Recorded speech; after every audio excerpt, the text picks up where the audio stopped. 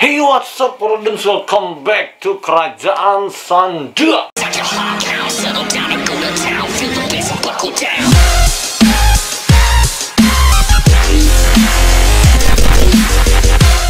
Oke para dudes untuk hari ini atau video kali ini kita akan unboxing perbedaan ya. Banyak yang nanya di Instagram aku atau di komen YouTube. Bang, uh, nanyanya nggak menyuruh aku memperbandingkan brand ini ya. Bang, bagus Erigo atau bagus Fairgood?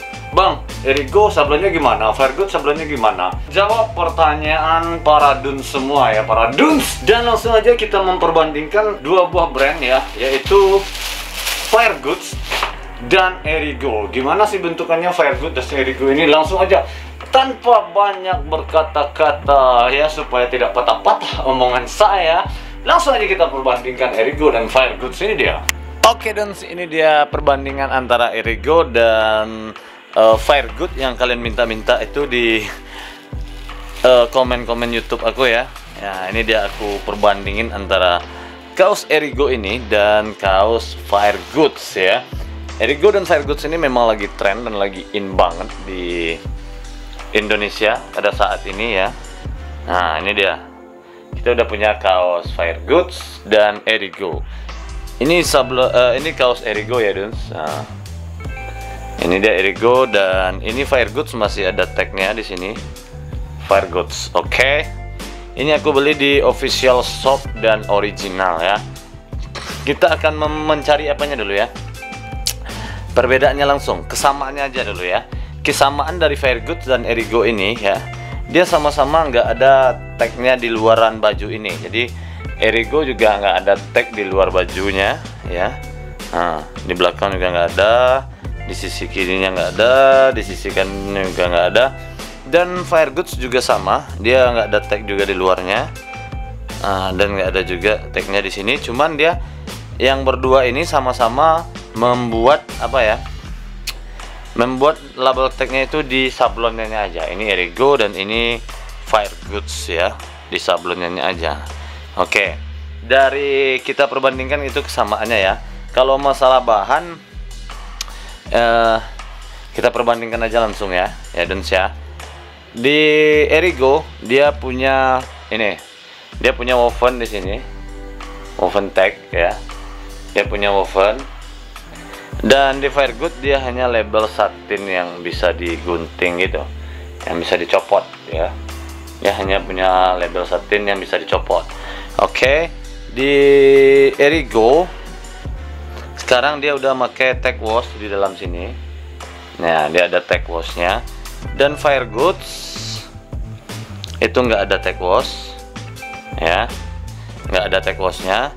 Untuk bahannya aku nggak terlalu ngerti bahan ya tapi kayaknya di sekarang ya Erigo ini nggak tahu juga entah dulu atau sekarang ya Erigo ini bahannya lebih apa ya keras gitu kaku gitu ya. Lebih tebal gitu. Lebih kayak apa ya katun polyester gitu. Lebih kaku gitu nggak tahu juga. Ini mungkin pakai kartun 100% atau apa ya? Nggak tahu juga. Aku nggak tahu terlalu ngerti bahan ya Duns ya. Tapi ini bahannya yang aku ngerti itu ini agak keras gitu agak keras dan ya panas lah kalau di kota aku dipakai ya. Panas oke. Okay? dan di sini ada fire goods yang memakai bahan combat 30s combat 30s yang apa ya yang soft yang lembut yang lunak gitu. Nah, dari teksturnya aja udah kelihatan itu lunak banget ya. Nah, lihat nah, lunak ya. Terus jahitannya di sini dia sama-sama pakai rib yang sama. Itu kira-kira 2 cm di lehernya. Nih, jahitannya sama juga. Erigo, ini Erigo di stick juga dan Fairgood di stick juga sama. Untuk jahitannya lebih rapi Erigo kayaknya ya. Untuk uh, ini kayaknya mungkin karena tegang tadi ya, karena keras tadi, jadi jahitannya rapi gitu. Kalau Fairgood jahitannya agak gelundung-gelundung gitu ya tapi sama-sama bagus juga dan dari segi apa lagi ya sablonannya lagi kalau Erigo sablonannya di sini depan kecil. Dan Fairgood juga depannya kecil juga. Nah kecil juga. Dan untuk sablonannya ya sablonannya Erigo memakai plastisol ini. Ya Erigo memakai plastisol dua warna yaitu Erigo Co. Ya dia banyak ada yang empat warnanya juga Erigo ini ya. Dia memakai sablon plastisol dua warna sedangkan Firegoods dia memakai sablon uh, discharge ya. Nah ini dia. Ini perbedaannya sablon antara plastisol dan discharge. Kalau discharge ini dia menyatu dengan bahan. Jadi sablonannya lebih bagus lebih awet dan lebih eh, tahan lama lah ya kalau Fairgood lihat. Kita lihat sablonnya Fairgood ini. Nah lihat. Kalau ditarik ya. Nah, dia akan menyatu dengan bahan ini sablonan Fairgood ya. Udah pernah dilihatin juga sebelumnya. Nah ini masih bau baru bau barunya ya. Dan untuk sablonan Erigo dia memakai plastisol. Ya ini dia. Dia memakai plastisol yang tipis juga sih. Dan bedanya sablon discharge dengan sablon plastisol. Kalau sablon discharge sun lihat di dalamnya aja ya. Kita balik bajunya dia akan seperti ini. Ya dia akan me menyatu dengan kain. Dia akan seperti ini. Dan akan terlihat ya. Itu sablon discharge. Oke. Okay. untuk sablon plastisol kita lihat juga di bagian dalamnya. Erigo ini. Dia tidak menyatu ya. Nah, dia tidak akan menyatu dengan kain gambarnya. Mana gambar yang di bawah? Ah, ini gambarnya dari sini. Ya. Nah, dia tidak akan menyatu nah ini plastisol. Dan ininya rubber mungkin. Yang putihnya rubber itu super white ini. Atau juga. Dan itu aja ya. Perbandingan antara Erigo dan Firegoods kalau jahitannya sama-sama lah ya. Sama-sama bagus lah. Hmm. jahitan dalamnya sama. Ini Firegood ini Erigo ya. Sama-sama bagus. Udah. Itu aja ya.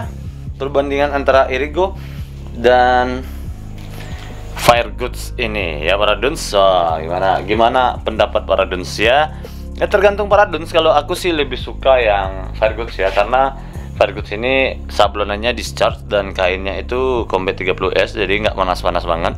Itu tipis banget. Jadi aku suka ini Firegoods ya. Tapi sayangnya Firegoods ini tagnya itu uh, nggak oven seperti Erigo ini ya, nggak punya Erigo ini. Tagnya itu cuman satin biasa yang bisa dirobek, bisa copot. Jadi ciri khasnya cuma di sablon. Ya sama kayak kaos, kaos Polons kalian sablon sendiri gitu. Tapi sesuai harga ya. Ini adalah perbandingan dari uh, kaos lokal yang harganya sama ya. Harganya hampir-hampir mirip. Fergus uh, sekitar itu 60 ribuan dan kalau diskon kemarin ya. Dan Erigo kalau diskon juga sekitar 67 ribuan gitu. Oke para dons itu dia. Eh, nggak uh, perlu dicoba ya nggak perlu dicoba karena para don sudah pernah lihat aku unboxing ini di video sebelumnya. Di video sebelumnya udah pernah di fitting dicoba ini. Kita hanya memperbandingkan dan di sini. Oke para don kembali. Oke para duns itu dia perbandingan antara Erigo dan Fairgods gimana ya? Udah terjawab semua pertanyaan-pertanyaan yang uh, para duns sudah pertanyakan di kolom komentar aku ya. Dan untuk para duns yang ingin membeli pakaian atau uh, kaos lokal yang lebih otentik itu banyak juga pilihannya bukan hanya yang murah-murah aja ya. Jadi jangan terpaku dengan uh, yang murah gitu ya. Jadi yang pilihlah sesuai yang kalian inginkan. Kalau mau yang lebih bagus yang lebih otentik banyak ya. Banyak lagi pilihannya di atas. Ini adalah dua brand yang berpacu-pacu uh, di link e-commerce atau online shop untuk memperbandingkan harganya ya dari segi harganya. Makanya kita berbandingkan dari segi kualitasnya. Ini bukan maksud untuk memperbandingkan atau menjelekkan suatu produk ya. Para dons harus cerdas ya be smart people oke? Okay? dan ini hanya untuk referensi orang atau para dons yang mau membeli pakaian atau kaos. Kalau mau membeli Erigo ya boleh. Kalau lebih suka Erigo. Dan kalau lebih suka Firegoods boleh juga ya. Itu tergantung selera masing-masing dan budget. Ya jangan menjat satu produk itu oke? okay?